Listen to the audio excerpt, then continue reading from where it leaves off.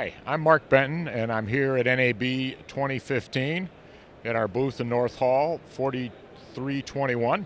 And I'm here to introduce to you the Super Chassis modular product line from AFP. Basically, the Super Chassis is a modular product with up to 20 slots that can be any combination of various media converters, optical multiplexing solutions, or optical normal through patching based on the customer's need.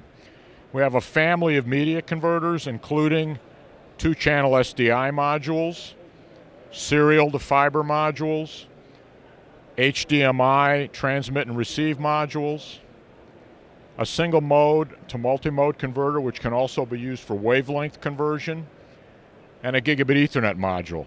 The panel comes with dual redundant power supplies and can be remotely monitored over either a GUI interface or an SNMP browser if your situation requires that. In addition to the remote diagnostic monitoring that you can get from the SNMP, the modules all feature onboard OLED displays of their diagnostics.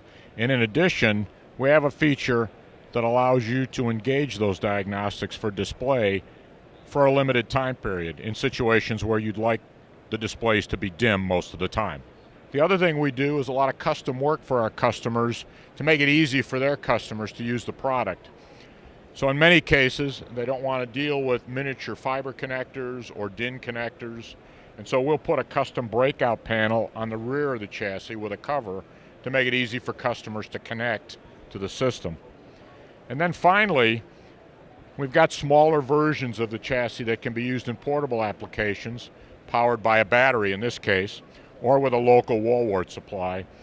And last but not least, we have customers where they'd like to integrate the media conversion right into their fiber reel with a convenient breakout panel for the various signals. And this can be custom configured to whatever need the customer has.